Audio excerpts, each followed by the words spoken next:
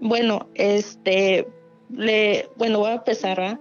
Eh, yo he tenido problemas con mi familia por parte de mamá, muy fuertes, ¿verdad? Que incluso duramos años sin hablarnos.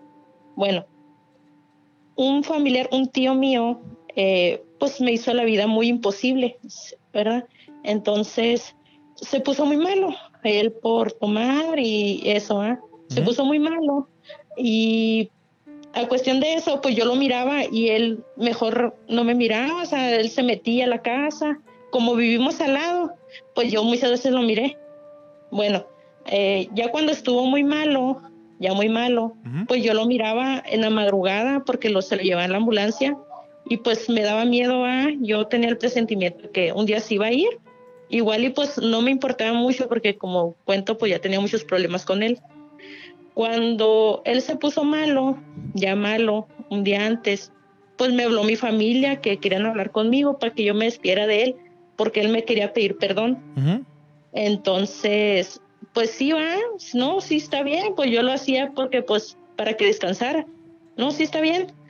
Y en la noche, pues mi pareja no estaba y estaba yo en el cuarto, pues estaba arreglando ya las cosas antes de dormirme y se abrió la puerta entonces a mí me, dio miedo, ¿verdad? O sea, tenía la puerta emparejada. Se me hizo raro y pues yo renegué. Dije, ay, ¿cómo friegan?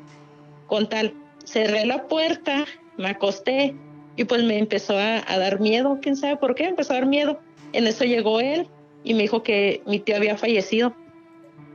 Él había fallecido y no es la primera persona. De hecho, ya tengo varios familiares que fallecen y cualquier cosita me tiran algo o, o, me susurran en el oído o cosas, ¿va? Entonces, pues es difícil, es difícil vivir así, que no te crean, que no te crean porque uno nada más sabe lo que mira, uno sabe lo que mira, uno sabe, igual cuando se iba la luz, cuando se iba la luz, yo miraba igual luces, nunca miré nada malo, miraba luces, miraba cosas de lejos, pero pues con mi familia sí, sí sentí raro. Cuando fui a verlo al velorio, le miré la cara triste. No me dio miedo, ah, pero mi familia me hizo ir a, verlo, pero sí me dio miedo. Yo siento que él se despidió, no se va.